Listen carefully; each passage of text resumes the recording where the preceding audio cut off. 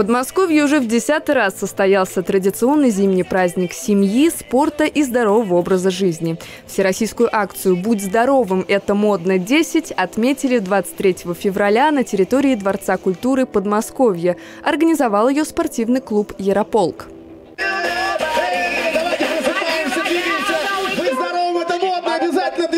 На площадке множество развлечений. Зона воркаута для подтягивания, например, стала излюбленным местом. 24 раза среди мужчин подтянулся Алексей. Он и забрал приз в размере 10 тысяч рублей.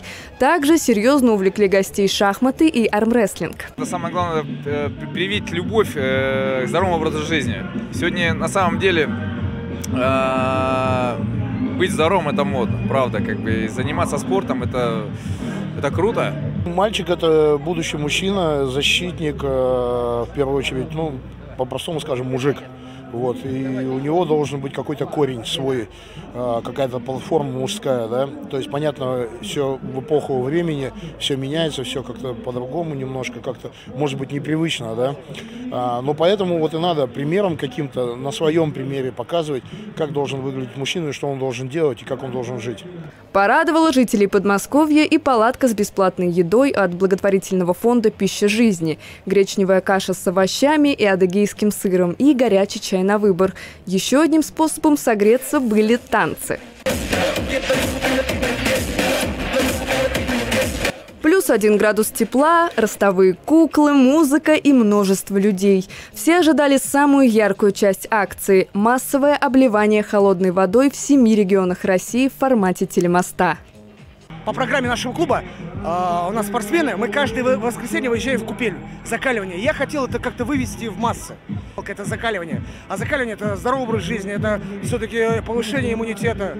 И человек, который закаливается, у нас определенная тоже сильная силой воли, потому что надо же все-таки себя перебороть, чтобы выйти и облиться. И обливание холодной водой, это, конечно же, безусловно плюс, но к этому нужно быть готовым. Надо начинать с протирки. Протирка тоже э, холодненькой водой. Сначала руки облил, потом и грудь немножко. Когда ты неделю-две подготавливаешься, потом уже через две недельки примерно плюс-минус ты можешь уже на тебя вылить воды. Уже твой организм готов. Прямая линия по московскому времени началась. Ульяновск, Симферополь, Курган, Улан-Удэ, Архангельск и Тюмень на связи. Все поздравляют друг друга с праздником, желают здоровья и готовятся к самой смелой части программы.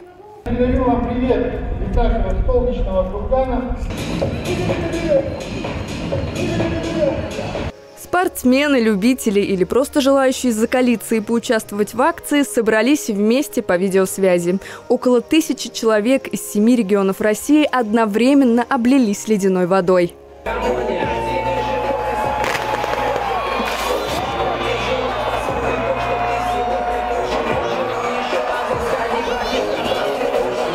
Понравилось, вообще супер. На самом деле очень тепло на улице, организация на уровне просто. Мероприятие отличное, заряд бодрости, позитива, здоровья.